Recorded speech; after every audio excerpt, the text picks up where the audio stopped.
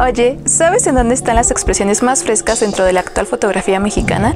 La plataforma de imágenes contemporáneas PIX es un proyecto del Centro de la Imagen, que en una página reúne más de 300 perfiles de fotógrafos y artistas jóvenes. El sitio tiene 46 emojis, creados para comunicar temáticas, fenómenos sociales, estéticas y actitudes en la fotografía actual con un lenguaje de la esfera digital.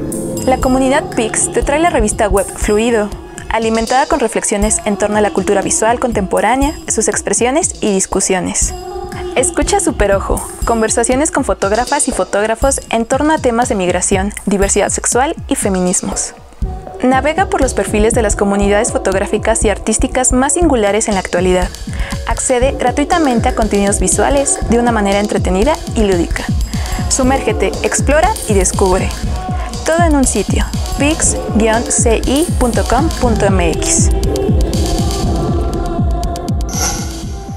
Gobierno de México.